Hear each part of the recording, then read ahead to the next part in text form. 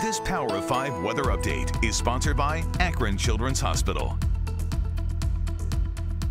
Here we go. Mark J. Weather here, Instagram, Twitter, and Snapchat. All right, clouds moving in overnight, some rain showers approaching by sunrise, and then rain mixing with wet snow during the afternoon on Friday. Accumulations, maybe a little slush here and there, but it's a colder weather pattern for your weekend. Seasonably cold, lower and middle 30s, Saturday and Sunday and beyond.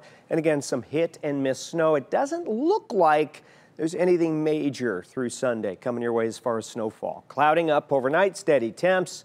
Here in the middle 30s at sunrise, going up to 39 on Friday. Rain primarily mixing with some slushy, wet snow during the afternoon. I think we're in the mid 30s Saturday and Sunday. Some scattered snow Saturday, a little bit light.